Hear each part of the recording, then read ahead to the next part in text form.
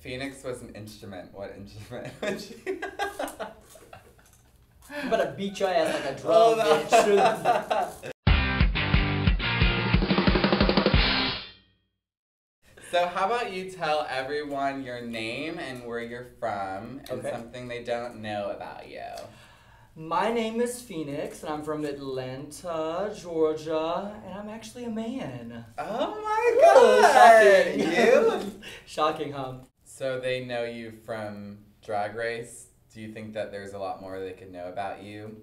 Just Of course, and you know the, the thing is, you know, with with Drag Race, I've changed so much since Mhm. Drag Race as as a person, as an artist. I mean, I've really I've changed so much. I don't watch my season of Drag Race because I don't really know that person. Now they're they're kind of like, wow, you're so much prettier in person. And I'm like, well, that and it was you know what five years ago. I mean. Mhm. Do you feel a sense of community with all the Drag Race girls now that we're in season blah blah blah and there's like 150 Pokemon and Some I feel very close to, and some are uh, definitely really close friends of mine. Um, some no. Some of them are complete bitches uh, that are living in a completely delusional world. Are you gonna watch RuPaul's Drag Race All Stars? Oh my Yeah. god! Yes, I can't wait. Who are you rooting for? Uh, Detox, all the fucking way. Is that a good friend of yours? That's a very good friend of mine. Yeah. What does Detox smell like?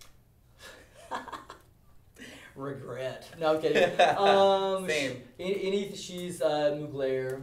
Mm. Yeah, she does anything Mugler, so she smells amazing. What's his story? Smells like money right now. Me too. Ooh. I think that's what money smells like. Is that it? What do you think makes a queen most successful? Staying relevant, staying humble, never afraid to listen, and, and doesn't stop learning. What's your most embarrassing moment in drag? do you have any? Do you ever Um, get embarrassed? no, I'm always perfect. Who's your oldest drag friend that people out there would know about? My oldest drag friend. Or that you've known the longest? Probably Nicole. Nicole came along and Mhm. kind of changed my styling and changed a lot about me. So, I mean, and that was 14 ish years ago. So, I've put up with her that long. What's something that you learned from Nicole that you never learned from anyone else? Is there anything? How to be outspoken would need to be, Mm-hmm. um, but also how to filter and, and pull back would need to be. Um, Nicole doesn't always filter, and sometimes I'm like, shut up. Are you a gaff girl or a duct taper? Whatever the costume calls for. Did she teach you how to tuck?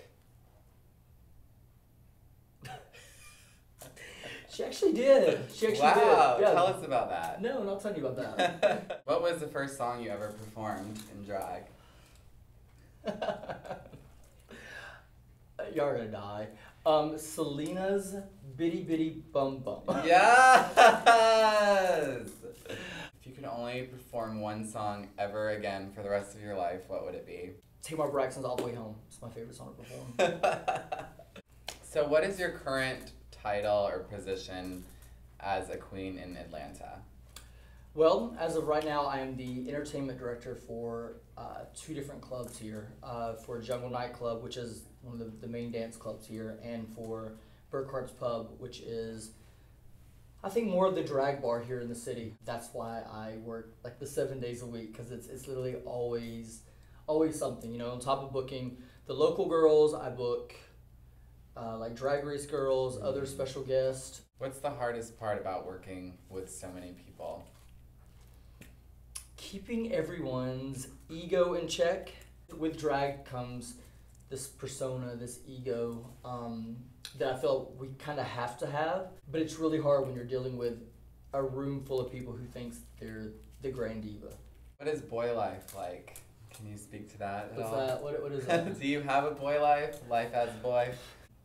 I've kind of started making myself go out more as a boy. I took one of my first boy vacations, you know, with my friends. Took no drag with me. Top or bottom? None of your business. Whatever gets the job done. Why do people need drag? Why does it still exist I mean, this is a deep question, but it is a deep question, but for now, where is it going? this is not just drag. This is an amazing art form that started so much of what we have right now in gay culture um, for gay rights. Drag is such a, a major part of the gay scene, especially in today's time. You know, we're the first ones that they call when money needs to be raised for HIV and AIDS or, you know, to help get the youth off the street. I think we are a lot of times the voice of our community. And I, and I love that. And that actually makes me really proud to, to do what I do. What is one of your most memorable moments for accomplishments as a drag queen? I have an hour uh, drag show at South Carolina Pride. I was on the microphone talking, and I was like talking to this like hundreds of people, and I looked down, and there was this little girl. She was probably four, and smiling, super happy to be there, having an amazing time. And at that moment, it kind of took me out of what I do, and I said, "This little girl, I have so much power over her right now. She's literally just so amazed, having a great time, and it's probably something she'll remember." Mm. Forever and I actually brought her up on stage and held her and we like talked to the crowd. What's the biggest thing that you want people to know about Phoenix that you don't think they know? I think my friends that, that know me and actually like a lot of the girls that work for me, I hope you would say good things about me. Yes. I, I feel like I'm a very like loving and caring person once you kind of When Gets you realize there's no bullshit. there's no I'm just not a, I'm, I'm a no bullshit person. I'm, I'm not always the most oh hug and Mm. kumbaya that, that's not really how I am because the character and the business that I've created doesn't always call for that. Well, how can people keep up with Phoenix in the world of her drag? Um, well, you can also you can find me all around the city. You can find me at Burkhart's. You can also find me at Jungle. and then yeah, Instagram, Facebook. I have um, Snapchat, but I'm Yay! Horrible at it. Absolutely Send her a horrible. at it. dick pic No, well, okay, yay, if I'm not it's sending one pretty, back. If the lighting is good. Yeah, the lighting's good, but I'm horrible at it. I like never use it. Well, Phoenix, we at Wussy and Atlanta and beyond the world outside are happy that you're here Thank and you. doing what Thank you, you for do. having me. There's more Phoenix where that came from. Follow us at Wussy Mag, subscribe, follow us on social media, and buy us things. Bye.